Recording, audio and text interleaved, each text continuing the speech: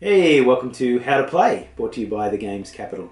Today we're looking at a little card game called Why First. It's a bit of a weird game because in order to win, you have to actually come second.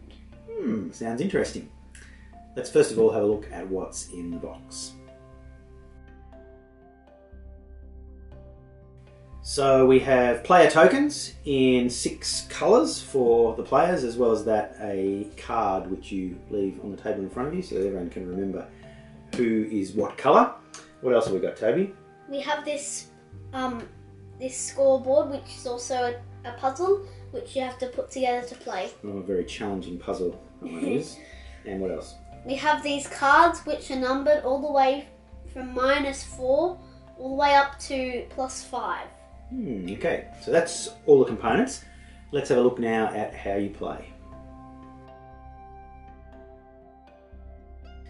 So the game is split up into five rounds. Each round the players will take their tokens and place them on the zero spot on the game board.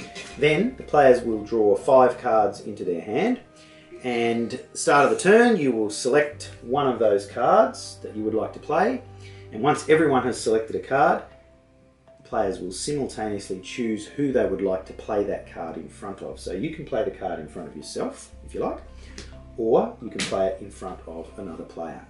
Then what happens with those cards? You have to reveal them and do what it says. So I would move forward one, and you would move forward two. Okay. Now you might have had two or three cards played in front of you, or you might have had no cards played in front of you.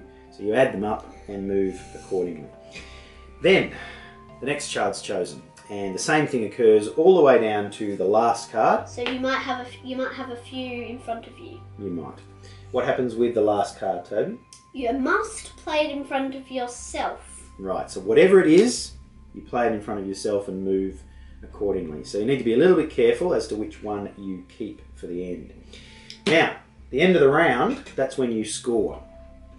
Now, only one person will score, and who is it? The person who comes second. The person who comes second. So whoever is sitting second on the board will score points. At In the this moment, instance, it's blue. blue would get one point because he's sitting on one. But if if he was all the way up here, he would get nine points. That's right. Okay, so that's the end of the round. Then everyone's back to zero, and we draw five new cards, and the same thing happens. We For do that five for five rounds. Okay, let's have a look at what happens at the end of the game.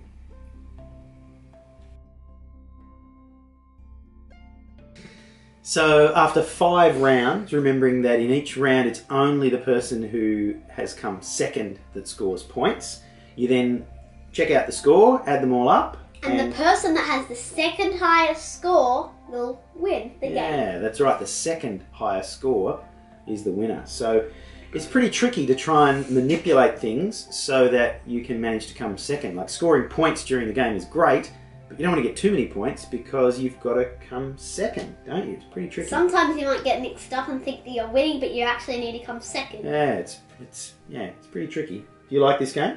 Um, yes, because I come second all the time. yeah. Okay. So look, if you want a card game with a bit of a twist, then I would definitely recommend checking out Why first. Okay. Thanks for watching. Happy gaming!